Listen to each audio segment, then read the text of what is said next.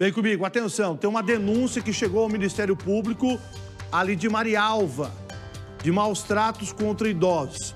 Mas eu quero justificar antes de chamar a, a nossa repórter Mariana para falar. Aparentemente, a denúncia que foi feita é de um caso isolado, falando de uma funcionária do local. Então vamos, vamos ver como está a investigação e vamos ver os detalhes também. Vem comigo. Coloca a Mariana aqui. É um asilo bastante conhecido no município de Marialva. E qual foi a denúncia e o que foi apurado até o presente momento, Mariana? Oi, Sal, muito boa tarde a você, boa tarde a todos que nos acompanham. Então, é claro, é muito importante que a gente esclareça, já que a gente está falando sobre uma denúncia muito grave, né? Há um asilo, então, aqui da cidade de Marialva, então, que recebeu a denúncia, o Ministério Público recebeu essa denúncia, então, que alguns idosos estariam sendo vítimas de maus tratos. A gente conversou com o Ricardo Biazon, ele que é promotor, está investigando o caso, e ele explicou exatamente para a nossa equipe o que, que está acontecendo. A denúncia é referente a um uma funcionária de dentro desse asilo que não estaria levando os velhinhos, os senhores de idade, também as senhoras de idade, às consultas médicas. Então não são casos de violência dentro desse asilo, mas também um caso de negligência, vamos dizer assim. A gente escutou, conversou com o Ricardo, com esse promotor, ele explicou como que estão as investigações então do Ministério Público, em que pé que estão, que eles receberam uma denúncia anônima e agora a gente vai ouvir o que que explica o promotor. Nós temos um procedimento, tá? Foi instaurado já cerca de uns 20, 30 dias. É, e ele se iniciou em decorrência de uma denúncia anônima que foi encaminhada à Secretaria de Direitos Humanos do Estado do Paraná, né, no Disque Idoso.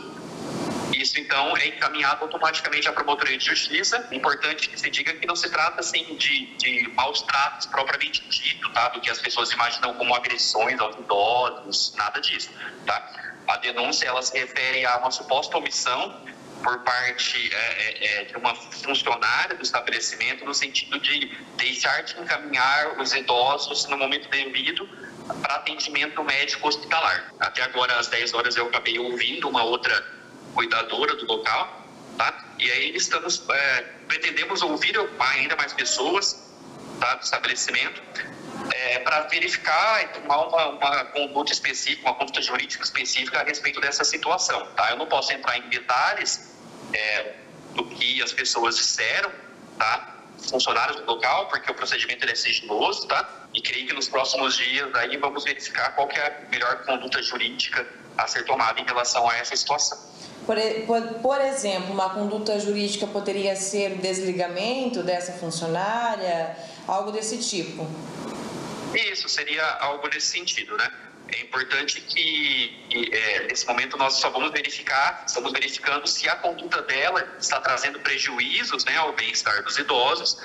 E agora, se essa conduta acabou gerando é, consequências graves, né, como, por exemplo, piora de estado clínico, mesmo morte, isso nós vamos verificar a posteriori, é, dentro de um procedimento até criminal, para verificar se houve mesmo essa opção. Tá? Mas nesse momento nós estamos preocupados em sanar essa possível irregularidade. Nós ainda não temos uma, uma conclusão, uma formação conclusiva a respeito da situação, tá? Porque nós temos algumas versões contrapostas no sentido de que as condutas eram regulares, outras pessoas nos disseram que não, que as condutas em tese não seriam regulares. Por isso que nós estamos ouvindo a maior quantidade de pessoas possíveis para não causar nenhum tipo de injustiça, claro.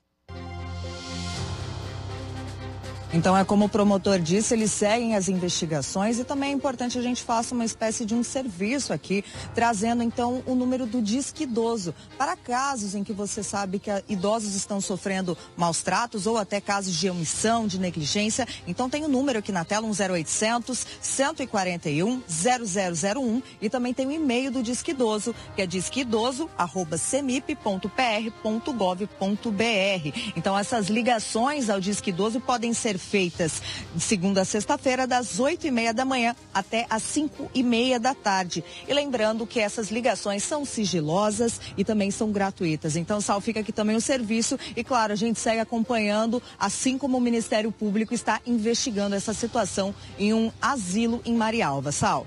Tá aí. Então, é, a gente tem todo o cuidado de trazer informação com responsabilidade. Então, só para vocês saberem, Marialva. É, o, a, o caso é isolado, envolvendo uma pessoa, uma funcionária aí do asilo. E também não é a denúncia, não é de tá batendo nos velhinhos, tá judiando dos velhinhos, não. Qual que é a denúncia? Marca-se as consultas porque pessoa de idade precisa ir no médico, precisa ir fazer o atendimento, precisa ir no médico. Marcava-se a consulta e ela não levaria, não estava levando os idosos para ser medicado, para ser atendido pelos médicos. Isso não aconteceu só uma, duas vezes, não. Por isso a denúncia chegou ao Ministério Público. Ah, mas, ô Salsicha, ela só esqueceu duas, três vezes, quatro vezes? Não. A denúncia vai apurar agora, por exemplo, um, uma, uma pessoa idosa tinha que ser levada no médico, não foi levado. E aí pode ser que, por não ter tomado a medicação, por não, por não ser atendida pelo médico, ela teve consequências na saúde dela dentro do asilo, e isso que está sendo apurado agora. E como eu falei, é uma funcionária que era responsável por fazer esses procedimentos e não estava fazendo. Alguém denunciou, parabéns para quem denunciou. E com certeza quem denunciou também tinha, sabia que os velhinhos não estavam sendo levados lá pra, no postinho para ser atendido. E agora o Ministério Público entrou na parada. Foi muito importante a fala do promotor para que tire qualquer dúvida, porque quando você fala assim, ah, situação de maus tratos lá no asilo, aí todo mundo pensa assim, ó, tá batendo os veinhos, tá deixando os veinhos roxo, não tá dando banho nos veinhos, não. A situação é isolada dessa funcionária que não estaria levando os idosos para ser atendidos ali na unidade de saúde que a gente sabe que todo idoso precisa ir no médico e tem idoso que vai no médico quase toda semana. Então, vamos aguardar o Ministério Público eh, vendo a denúncia, vai ouvir outras pessoas também.